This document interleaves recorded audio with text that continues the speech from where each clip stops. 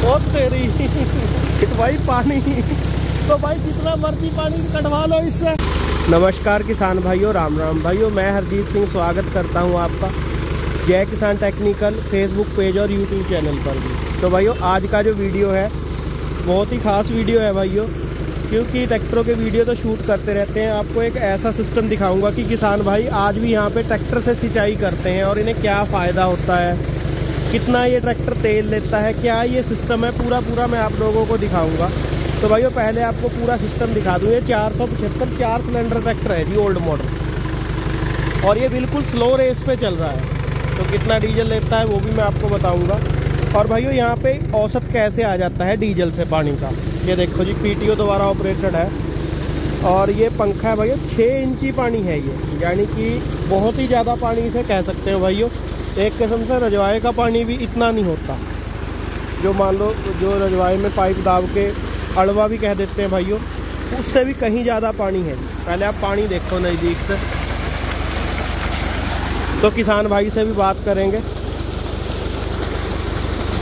तो ये हमारे यहाँ रामराज क्षेत्र है जी, गंगा जी का क्षेत्र है। तो ये देखो, दूर तक धान का खेत है भाई का, और बिना बिजली के भराई करते हैं ये लोग।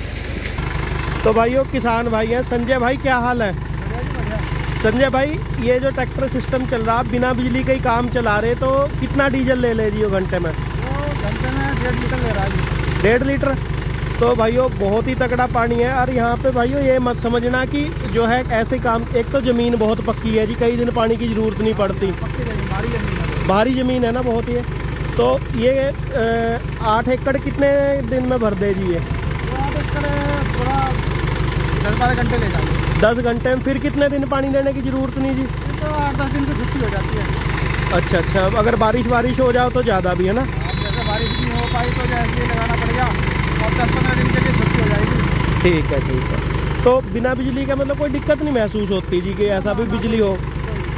लगभग इतना की डीजल लगता है या कुछ ज़्यादा लग जाता है जी बिजली के बिल से? ज़्यादा लग जाता है ना? पर ये है कि अपना काम है भाइयों। नहीं तो अगर इतनी पक्की धरती ना हो और इतना पानी ना हो तो भाई पानी से सिंचाई करना मतलब डीजल से सिंचाई करना मुमकिन ही नहीं है ना जी। तो देखो जी पूरा सिस्टम तो ये सिस्टम कितने रुपए में बन जाता है जी ये? टोटल बनाया जी हमारा पच्चीस हज़ार रुपये में। ये पंखा जो पंखा में ऐसा सिस्टम इसका नाम क्या है जी सिस्टम का? चरखा बोलते हैं जी। चरखा। ठीक है जी ठीक है। तो चरखा विधि मान लो इसे। और भाइयों, कोई भाई ये ना समझियो, यहाँ पे तो केवल आठ दस फुट नीचे पानी होगा जी। ठीक है। तो भाइयों, ये देखो, जो चरखा सिस्टम है, बड़ा हैवी पंखा है जी। और ट्रैक्टर बहुत ही कम रेस पे चल रहा है। भाई रेस हल्की सी बढ़ा के देखते हैं। बहुत तेरी। भाई, पानी। तो भाई, जितना मर्ज़ी पानी कटवा लो इससे। ओ हो हो हो हो। देखो भाई थोड़ी सी रेत बढ़ाते ही पानी देखो। तो आपने तो कम चक्करों पे चला रखा है कोई फ़र्क नहीं है। ठीक है तो देखो जी, रजवाया बन गया पूरा, और भैया छः इंची फोर्स बन गई है कम कर दो भैया।